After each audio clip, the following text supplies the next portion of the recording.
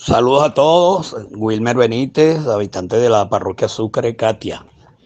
Sí, con relación a lo que preguntan de la flexibilización que ha instrumentado el gobierno nacional en todo el país, en particular en Katia, eh, desde que se inició lo de la pandemia con, con las cuarentenas y, la, y, las medidas que se tomaron pues de encierro y de, y de movilizar a la población, en Katia no, no ha sucedido como tal.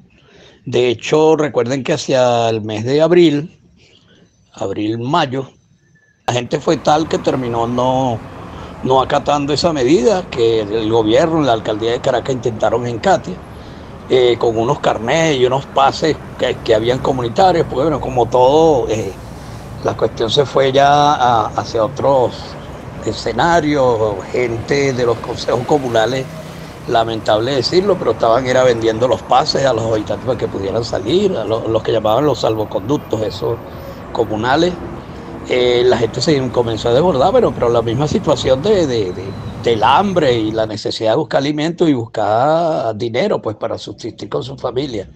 Eso terminó quedándose en el olvido. De verdad que Katia, sobre todo el casco central de la parroquia, lo que es todo el eh, Gato Negro, todo el final de la Avenida Sucre, todo el bulevar de Katia hasta la Silsa y la zona comercial de Propatria, es un hervidero de gente a diario.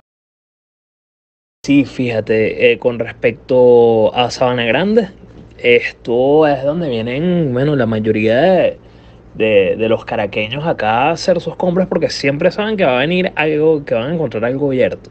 Eh, sea que estén trabajando con las Santa Marías abajo, pero hay gente allí trabajando y, y, está, y está la gente eh, tratando de, de vender sus cositas, ¿no? Los boneros y eso siempre están acá. Eh, ayer entré a City, ayer, el sábado entré a City Market y allí no había ningún control de nada. Eso era un gentío por todos lados.